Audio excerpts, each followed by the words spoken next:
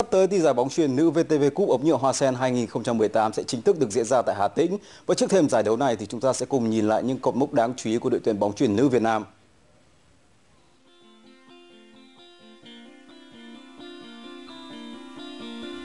Giải bóng chuyền nữ quốc tế VTV Cup do Đài truyền hình Việt Nam, Liên đoàn bóng chuyền Việt Nam và địa phương đăng cai phối hợp tổ chức đã trở thành sân chơi ưa thích của các nền bóng chuyền khu vực và đầy ý nghĩa với đội tuyển bóng chuyền nữ quốc gia trong việc cọ sát thi đấu với những đội bóng mạnh.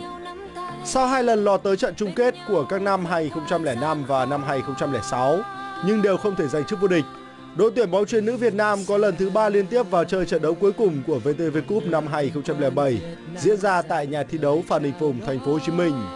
Dưới sự dẫn dắt của huấn luyện viên Thái Thanh Tùng, đội tuyển bóng chuyền nữ Việt Nam đã xuất sắc vượt qua Đại học Sian bằng chiến thắng 3-1 để lần đầu tiên lên ngôi vô địch. Hai năm sau, đội tuyển Việt Nam lại có mặt ở trận chung kết bằng một phong độ thuyết phục khi không để thua set đấu nào tại VTV Cup năm 2009 diễn ra ở Đắk Lắk. Trong trận đấu cuối cùng trước Technocom của Ukraine, đội tuyển Việt Nam đã thể hiện sự vượt trội bằng chiến thắng 3-0 để lần thứ hai lên ngôi tại VTV Cup. Tại VTV Cup năm 2010 vẫn diễn ra ở Đắk Lắk. Lần đầu tiên đội tuyển Việt Nam được dẫn dắt bởi chuyên gia Trung Quốc. Chơi ấn tượng trước các đối thủ, các cô gái của chúng ta một lần nữa góp mặt trong trận đấu cuối cùng và lần thứ ba giành chức vô địch. Danh hiệu VTV Cup lần thứ tư của đội tuyển Việt Nam là vào năm 2014 khi giải đấu diễn ra ở Bắc Ninh.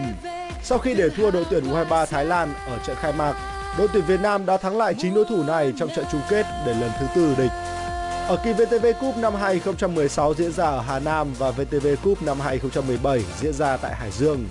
Đội tuyển bóng chuyền nữ của chúng ta kết thúc giải lần lượt ở vị trí thứ hai và vị trí thứ ba.